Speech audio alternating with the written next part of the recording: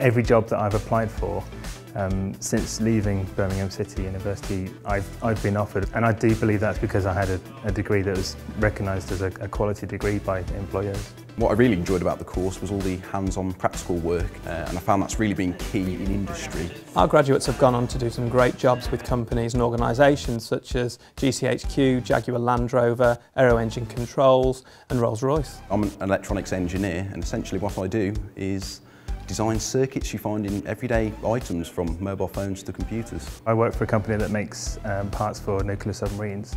I work on the programmable digital logic for these the submarines. We do motor controllers and uh, power converters and things like that. It stretches me, it's, it makes me think. The course prepares students for industry by giving them the opportunity for an industrial placement. We also have specialist guest lectures from experts within the field.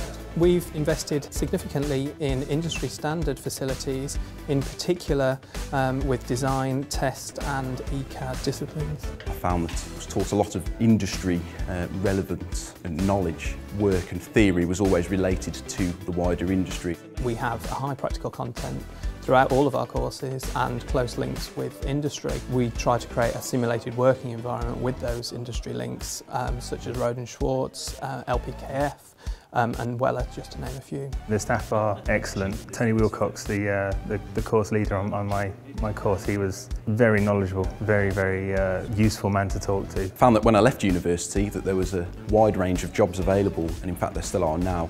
The industry is desperate for electronics engineers, uh, which is great news, so it's really a, it's a strong area uh, uh, to be in.